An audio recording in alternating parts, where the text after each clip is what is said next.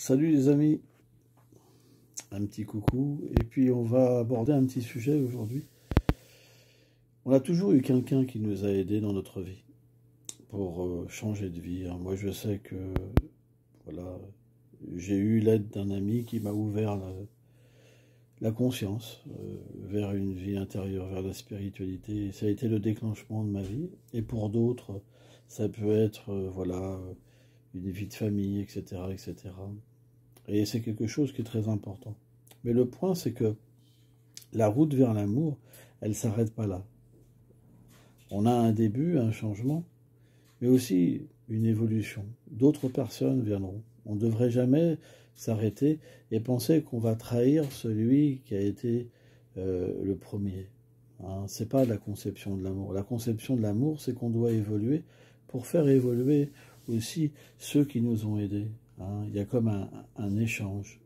On reçoit et après on cultive et on donne. Et naturellement, si euh, les gens sont en harmonie avec la cause qu'est l'amour, ils vont naturellement prendre ce profit, évoluer, etc. etc. Donc c'est quelque chose qui est très important.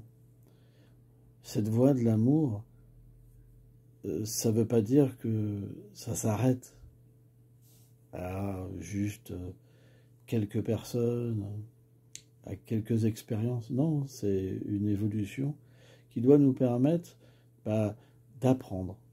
On a appris d'une personne, ça nous a aidé, mais on doit apprendre d'autres personnes.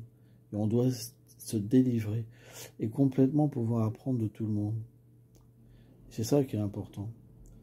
Et c'est ça qui nous amène une véritable spiritualité. Quand on rentre à l'intérieur de nous-mêmes et qu'on trouve cette harmonie avec la création, automatiquement on apprend de cet environnement.